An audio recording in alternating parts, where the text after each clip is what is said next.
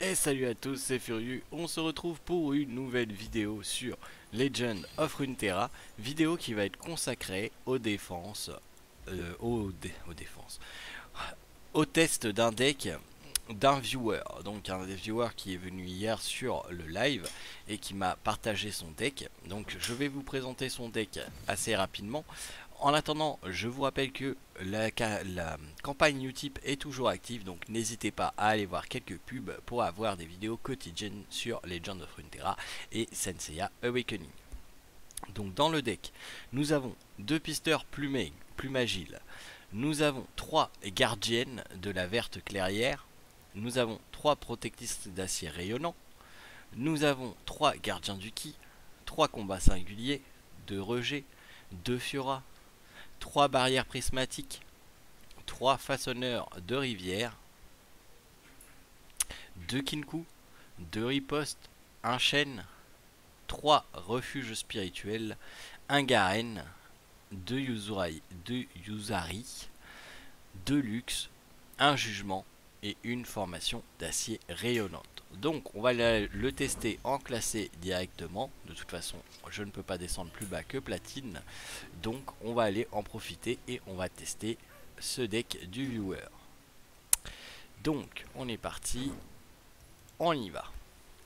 Pour moi, la faiblesse du deck, la seule faiblesse du deck, c'est les decks à dommages directs qui peuvent faire sauter les shields et donc rendre vos créatures vulnérables. Parce que bien entendu, le deck tourne réellement autour des shields. C'est un deck peu commun que je n'ai pas vu, ou très peu vu, en classé.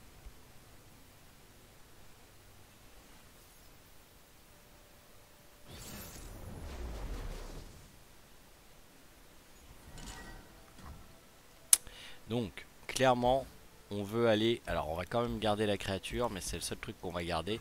On veut aller chercher une gardienne ou une fiora en premier tour. On a une gardienne, on est bon. Donc là, on va jouer ça. On attaque.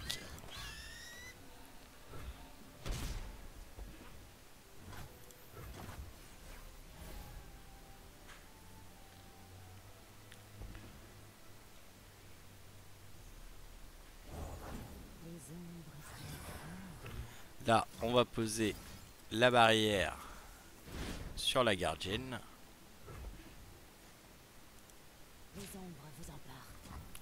Donc là, on se mange 3 de dégâts. On tolère.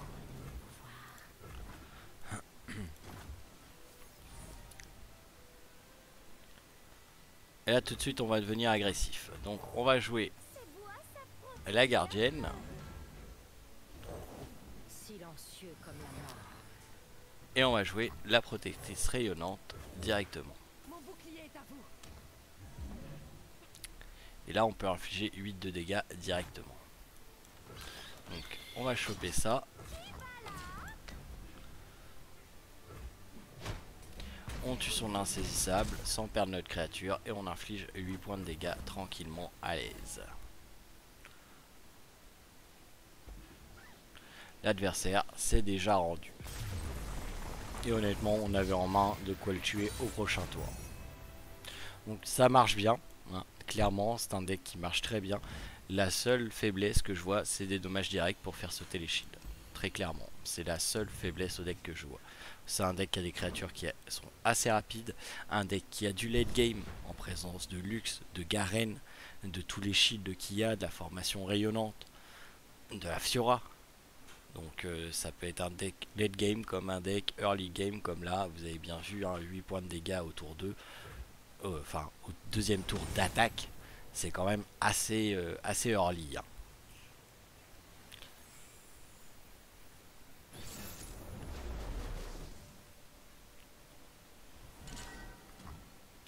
Donc là, on a la gardienne, donc très bien. Par contre, en revanche, on va essayer d'enlever ça. Voilà bien mieux.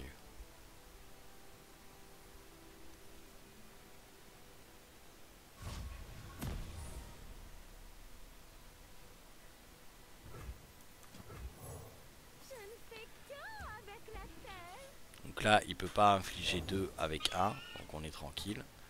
Là, en revanche, on n'attaquera pas. Surtout pas.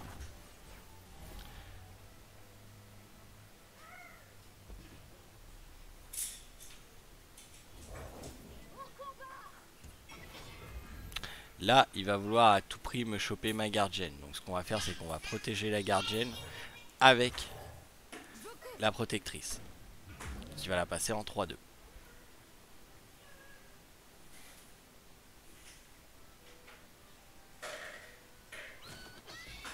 là, il va probablement prendre elle. Ça serait ridicule de prendre elle. Il attaque pas, il passe. Très bien.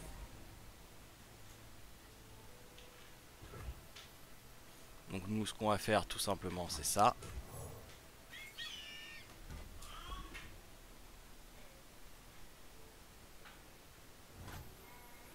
Et ça. Et on n'attaque pas. On attend de voir ce qu'il va faire lui à son round. On garde, on a deux shields en place. On est très bien. Voilà notre game. On garde. Si ça ne vient pas de ma force, personne n'en veut. On touche pas.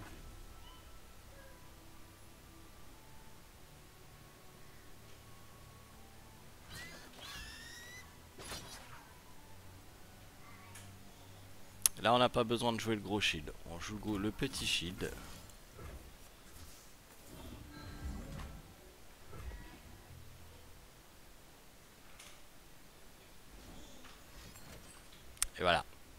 C'est pas du dommage direct, c'est une purification. Mais ça revient au. C'est pas grave, on l'a fait défoncer une purification. On a encore une gardienne. Donc, aucun souci de ce côté-là. Là, on va pouvoir attaquer. On va lui choper ça. Et on va voir ce qu'il va faire.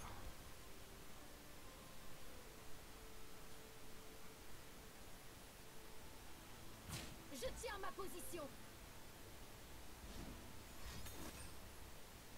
Voilà. Donc il pense sauver sa créature, ce qui ne sera bien entendu pas le cas.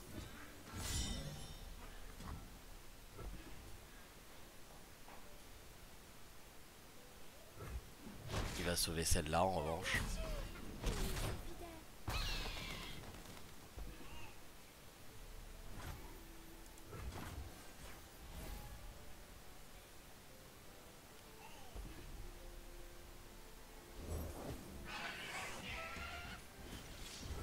Donc là c'est chiant hein, parce que il a énormément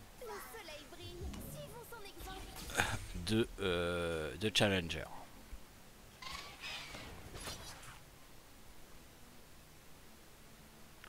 Donc soit il a une autre purification, soit je garde la survie.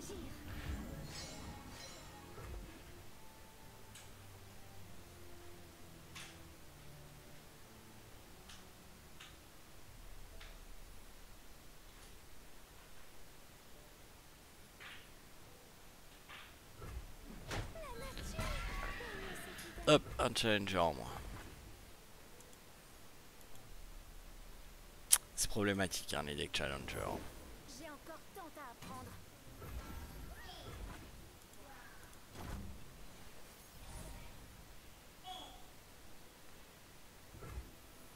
Donc là, on va plutôt jouer ça. On a le Garen, on va le garder de côté.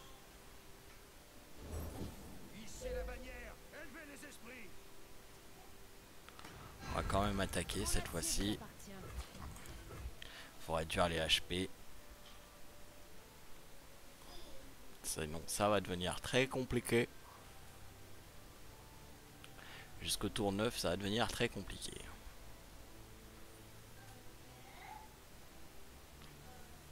On pioche pas de shield, c'est compliqué.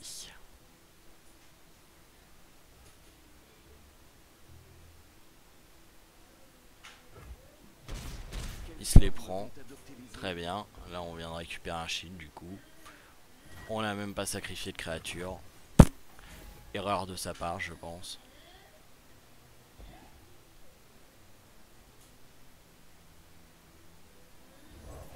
Discipline et acier. Démacia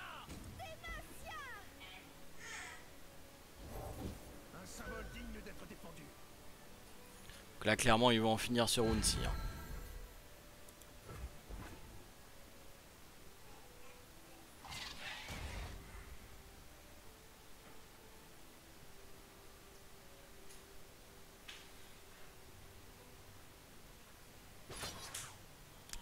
Voilà, c'est ce que je voulais qu'il fasse. En plus, il ne prend que ça. Je sais pas pourquoi il a des 6-6. On dirait que ça lui sert à rien.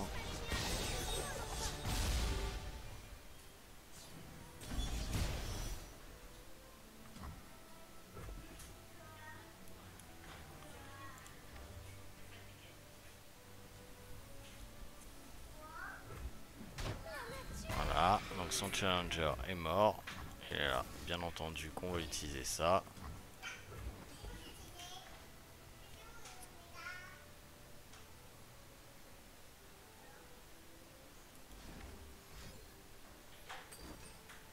Et le rejet. Mais j'ai vraiment envie de tuer sa créature, donc je vais rejeter son rejet. Surtout qu'il a l'air d'avoir que des sorts instantanés à part le Demacia. par le marteau.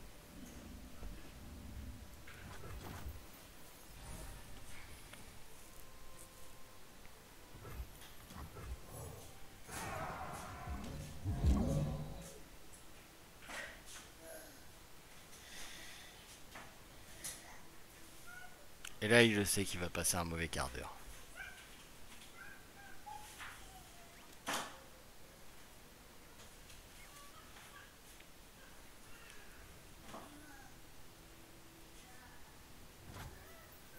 Bien sûr qu'on n'attaque pas. T'es arrivé, t'as cru en la vierge. On a une 37-2, tout va bien. Oui, bah ça c'est mort.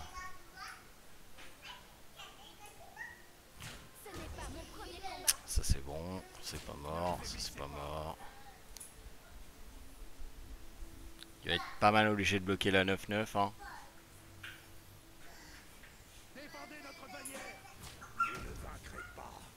Il reste un PV. Il est chaud. Il est très très chaud. Pourquoi? Parce que ça, ça va me créer un sort. Quand je lance un sort, j'ai le rayon qui revient. Je rappelle, le rayon va infliger 4 dégâts à une unité ennemie. Si elle a plus de PV, et bien, comme elle, elle va rester 1 PV, et bien ça va les tirer sur le Nexus. Voilà, donc autant dire j'ai gagné. hein. Enfin, clairement.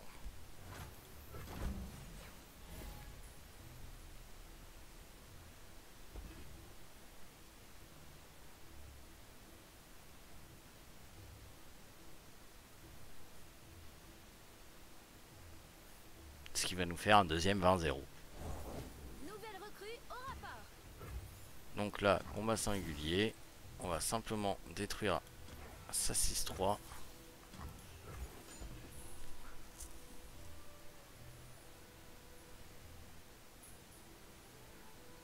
Le but est de lancer un sort. On s'en fout même s'il fait des Macia derrière. hein. Mais c'est un sort lent, donc il peut pas le faire. D'accord, il va juste donner euh, un puissant. Voilà.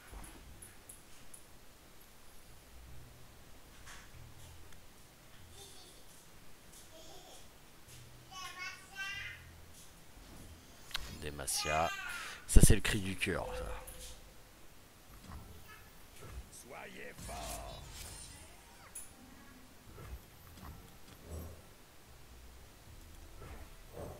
Mon bouclier est à vous. Les démaciens se protègent mutuellement.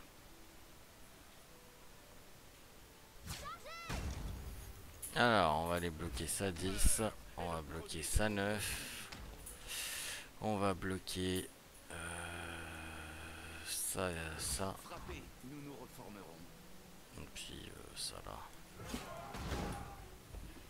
Voilà.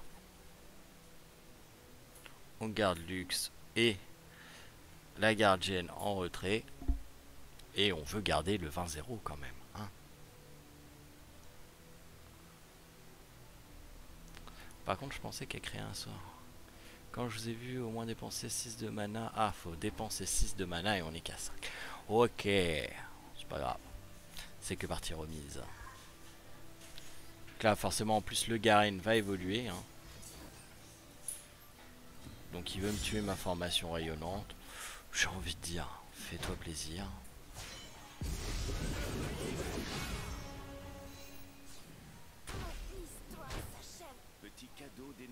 Voilà, donc euh, c'est gagné. Je vous montre.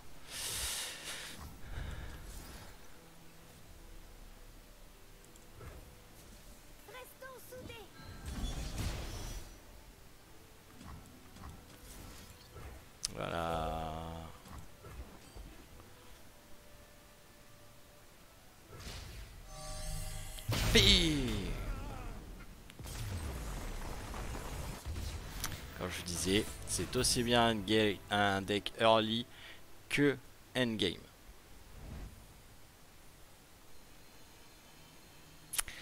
Des 20-0 en platine, c'est peu commun quand même. Hein. euh.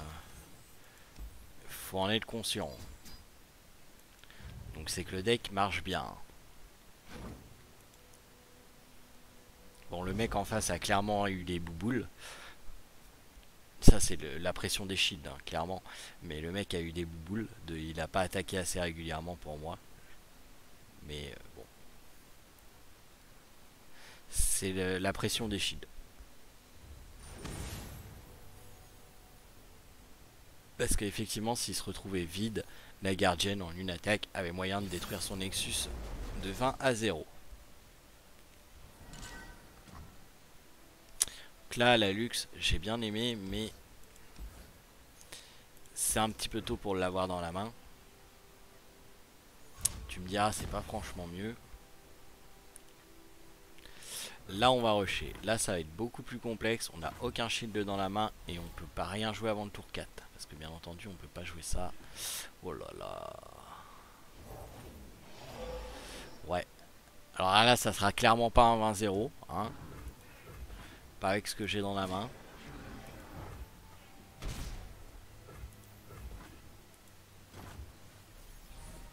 C'est pas pour autant que ça sera une défaite, attention.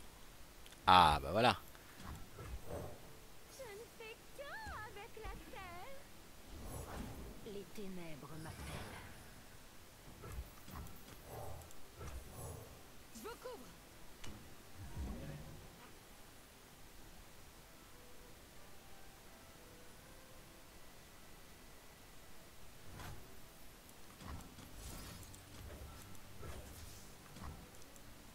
Mon acier vous appartient.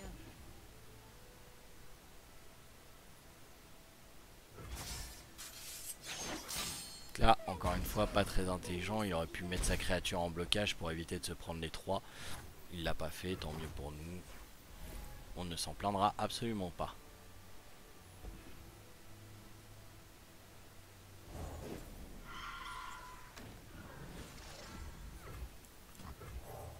Ils ne peuvent pas attaquer ce qu'ils ne peuvent pas voir.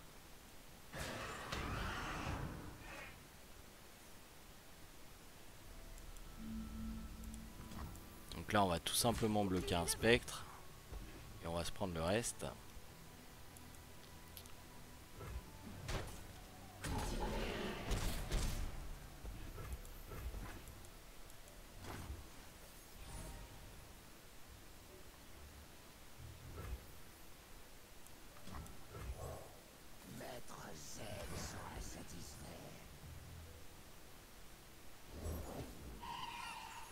Donc là, il fout son board, hein, clairement. Je suis invisible. Je suis comme les ombres. Il peut pas bloquer, donc on en profite.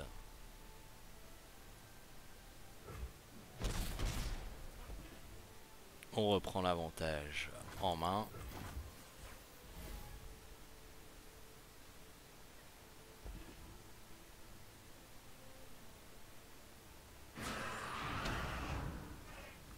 on va bloquer. Hein. On laissera pas tout passer.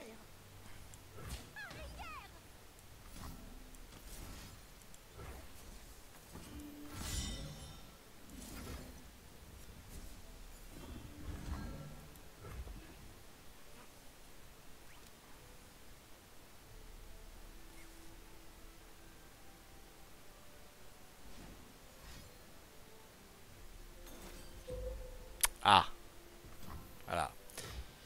c'est ce que je voulais pas qui arrive. C'est les sorts directs. Les fameux sorts directs dont je vous parlais. Les voilà. Ce qui va rendre le tout un petit peu plus complexe, bien entendu. Bon, il a une main de porc. hein. Les trois spectres brumeux plus euh, les deux invocatrices. Il a une main clairement pas pauvre. Nous combattons pour ceux qui ne le peuvent pas.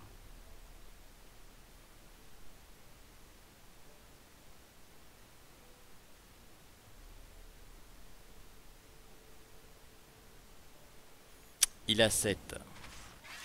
Donc, la possibilité d'invoquer Raza. Donc, je ne jouerai pas au con. J'ai besoin du Garen pour balancer le jugement.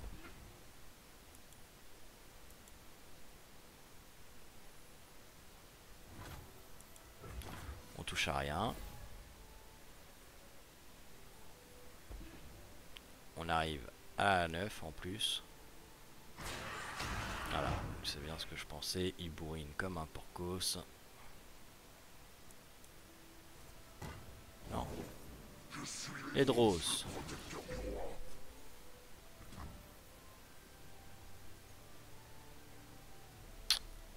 Alors que c'est pas que j'ai envie, mais j'ai pas envie.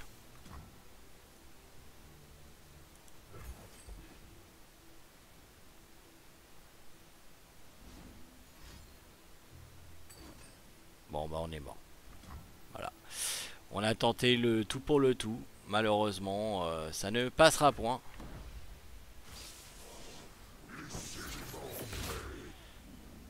On peut pas, euh, on peut clairement pas. euh, voilà, c'est mort.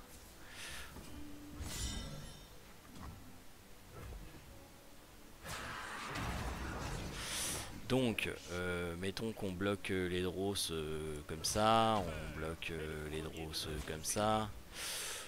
On est mort.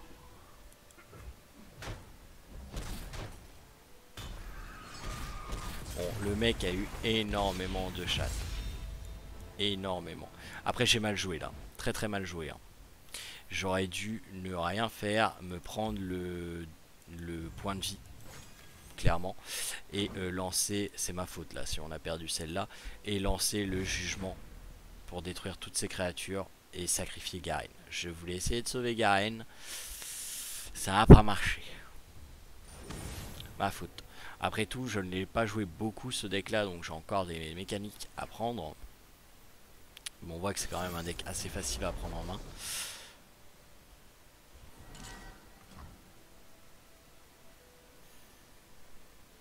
Ouais, ça va, on va garder ça. On a un tour 1.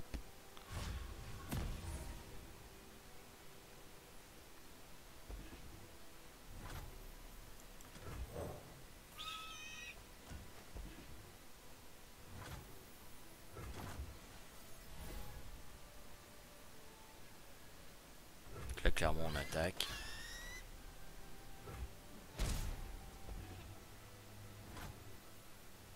On garde le mana du coup vu qu'il joue rien. Voilà ce qu'on voulait. Les traditions non transmises sont perdues. Beau à ça protéger la peur. S'il attaque, on acceptera de se prendre le 1.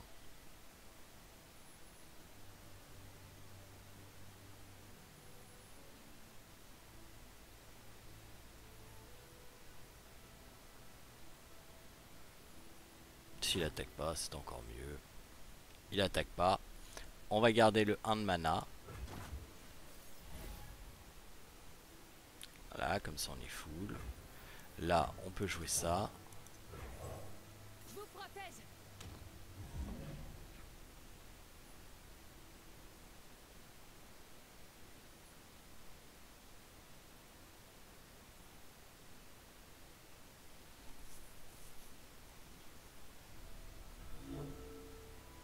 Il peut avoir très mal ce tour-ci. Hein.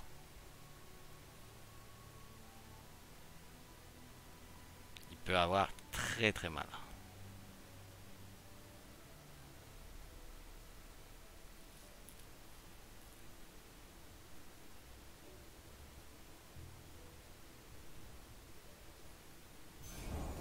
Il y a toujours une issue. Il va avoir très très mal.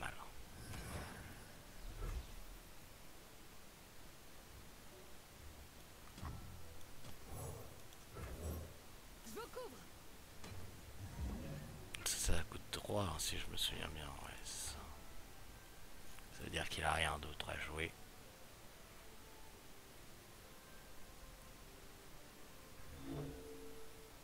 Alors il y a peut-être un rejet. Par l'accès, il a peut-être un rejet le garçon.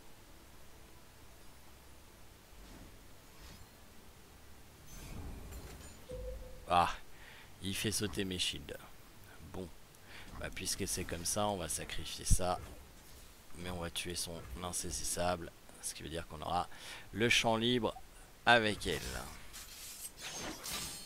Voilà. De toute manière, ils allaient mourir. hein, Ça, ça inflige de points de dégâts. Donc ça fait sauter les shields. Mais il a plus qu'un point. Donc il peut pas bloquer. Il se prend 7.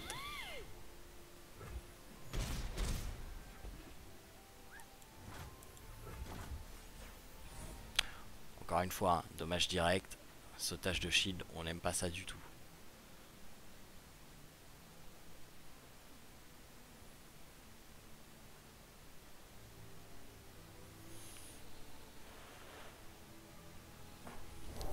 Il n'est de plus beau présent que la connaissance.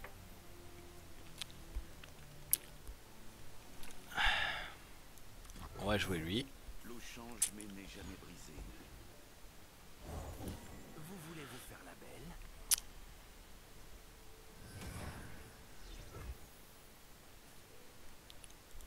On va se prendre 5. Je connais une issue.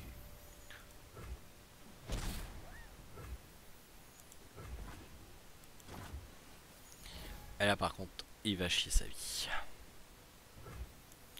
On joue rien, on attaque.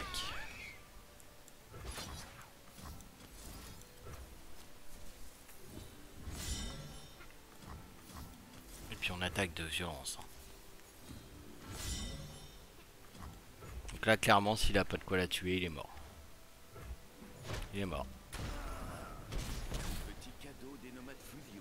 Vous voyez la puissance du deck. hein. Aussi bien en early qu'en late game, vous voyez la puissance du deck. Encore une fois, la seule game que j'ai perdue, c'est une game où j'ai fait une erreur. Où j'aurais dû garder 8 pour le jugement et faire le jugement à 8, ce qui aurait cleané tout son banc de créatures, à part les Dross, ce qu'on veut pas. hein. On veut pas que les Dross meurent, donc euh, voilà. Et j'avais de quoi derrière lui faire très très mal avec la formation rayonnante. Voilà. En tout cas, je trouve que c'est un deck très équilibré. Félicitations. hein. Vraiment, c'est un, très bon deck. Euh, tu as bien travaillé sur ce deck là. Si vous aussi voulez que je teste vos decks en platine, n'hésitez pas à m'envoyer le lien de votre deck ou à passer sur le live dans les soirées deck building qui sont principalement le week-end avec Mister Juko et on testera tout ça ensemble. Sur ce, je vous souhaite à tous de passer un excellent début de soirée. Si vous êtes avec nous en live, on se retrouve ce soir. Sinon, je vous dis à demain pour de nouvelles aventures. Allez, salut tout le monde